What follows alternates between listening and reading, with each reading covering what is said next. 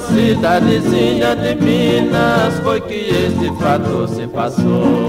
De uma festa de São Benedito eu fiquei sendo conhecedor. Antes de sair a procissão, que foram enfeitar o andor.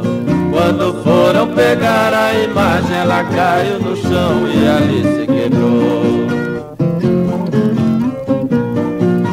Não ter então outra imagem, o festeiro tomou decisão. Pegou as vestes de São Benedito e vestiu ela sem o negrão. E o negrão subiu no andor e saíram com a procissão. Sem saber do que acontecera, o povo rezava com fé e devoção.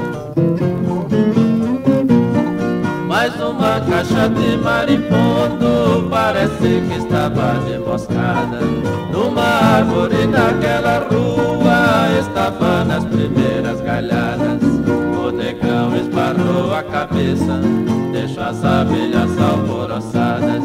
E sem que ele percebesse Elas juntaram nele de ferroada o negrão tomou um grande susto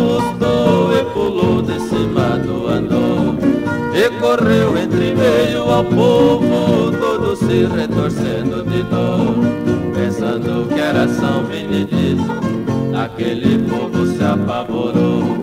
Ao ver São Benedito ao vivo, de tanta emoção teve quem desmaiou.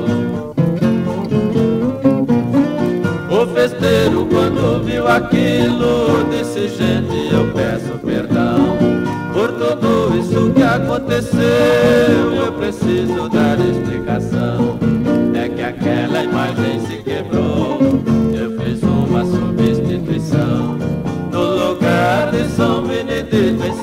No lugar de São Benedito em cima do andor botei este